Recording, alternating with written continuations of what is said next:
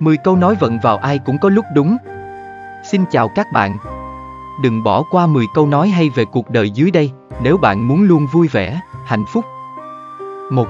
Những người mượn cớ không có thời gian dành cho việc tập thể dục, thì sớm muộn cũng sẽ phải dành thời gian để gặp bác sĩ.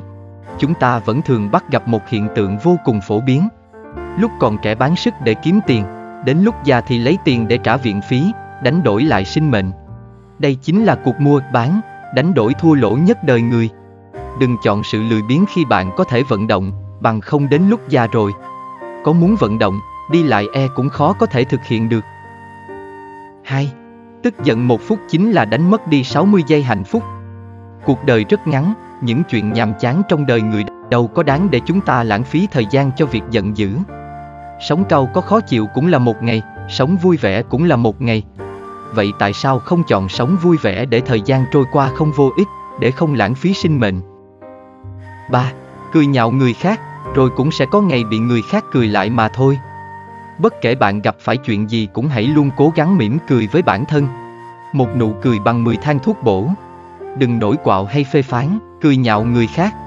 Cứ giữ nụ cười trên môi, bạn sẽ phát hiện ra, cuộc sống này chẳng có gì là ghê gớm. 4. Khi còn sống, hãy cứ vui vẻ một chút, bởi vì chúng ta sẽ phải chết rất lâu. Đời người có hạn, thời gian là vô cùng quý báu.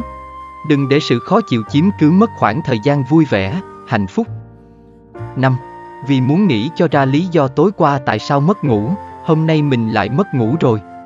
Có rất nhiều chuyện nghĩ không ra, nghĩ mãi cũng không hiểu thì đừng nên tiếp tục suy nghĩ, suy nghĩ nhiều chỉ thêm phiền phức.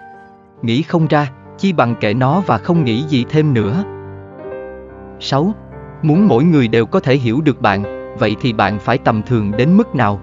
Đừng bao giờ yêu cầu người khác phải hiểu bản thân bạn. Càng đừng khiến bản thân phải sống theo cách nhìn nhận, đánh giá của người khác. Bạn chính là bạn, độc nhất vô nhị. Người khác có hiểu bạn hay không, không quan trọng, quan trọng là bạn cần kiên trì sống đúng con người bạn. 7. Có người đến để yêu bạn, có người đến để dạy cho bạn những bài học. Chúng ta sẽ gặp rất nhiều người trong cuộc sống này. Trong số đó có những người sẽ đem đến cho bạn tình yêu. Một vài người khác sẽ đem đến cho bạn sự tổn thương. Có những mối lương duyên là chuyện tốt nhưng cũng có vài mảnh duyên lại là nghiệt duyên. Dù là nghiệt duyên đi chăng nữa, khi đã đến rồi, nó cũng sẽ dạy cho chúng ta những bài học nhất định.